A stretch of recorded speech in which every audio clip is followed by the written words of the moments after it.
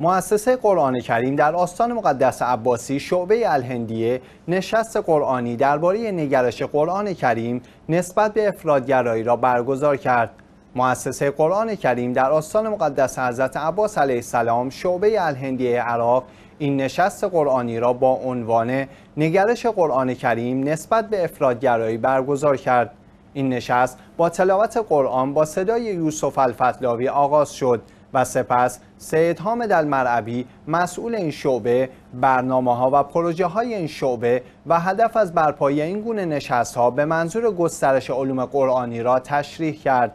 دکتر محمد حسین عبود استاد گروه علوم اسلامی در دانشگاه کربلا درباره این موضوع سخنرانی کرد و گفت افرادگرایی فهم اشتباهی از مزامین دین اسلام ارائه کردند. عبود با اشاره به برخی از آیات درباره دوری از تعصب، جنگ، کشتار و رد هر گونه شرارت گفت شهادت امام حسین علیه السلام نتیجه بزرگترین اقدام افرادگرایی و تعصب توسط گروهی از ستمگران زمانش بوده است. این نشست با توجه به شیوع ویروس کرونا با رعایت های بهداشتی ستاد بحران عراق برگزار شد.